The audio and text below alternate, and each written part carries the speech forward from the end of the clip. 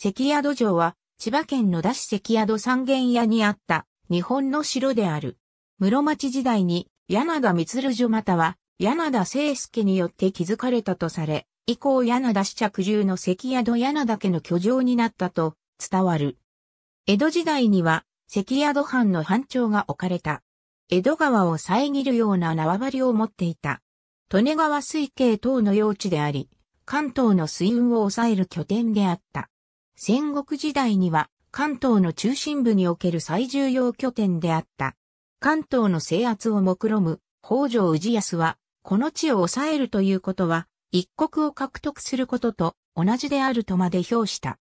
戦国時代末期には、北条方と上杉法の間で激しい争奪戦が繰り広げられた。北条氏康、氏政、氏照不氏が上杉謙信、佐竹義重の援助を受けた柳田清介の守る関宿城を三度にわたり攻撃。最終的には北条氏がこれを制し、北関東進出の拠点とした。建造物としては、五三階櫓と呼ばれる天守上の櫓が代用として建築され、1671年に再建された際には、江戸城の富士見櫓を模して再建されたという。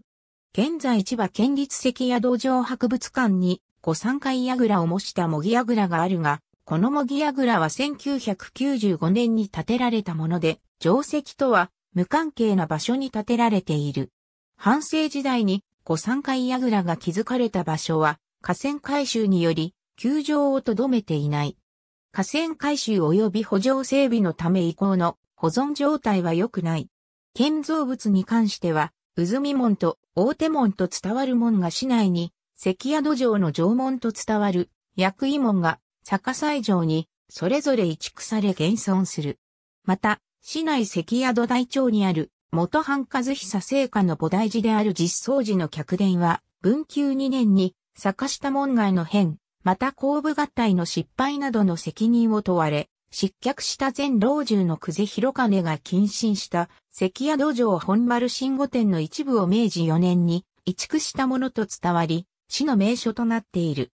関宿城関宿城主と、茂木櫓円形、松平高原、徳川家康の伊不定、松平忠義松平重勝小笠原正信、小笠原貞信北条四十、牧野信成牧野近重板倉重宗板倉十号、板倉十常、久世広氏の久世重幸牧野成貞牧野聖春から1693年に成貞の養子となる久世重幸久世明の久世広明から1743年に明野の養子となる久世公与久世広志運関宿藩公共林館を作る久世広金久世広文久世工業最後の城主、国枝四郎、大砲の行方に次のように描かれている。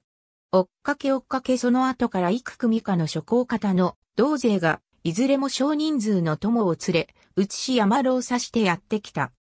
五万八千国、久世山と守る。上州関宿の上主である。吉連川の上司吉連川左馬頭、不思議のことにはこの人は無高だ。国枝四郎、大宝の行方、書室、サンデー毎日1925年1月。ありがとうございます。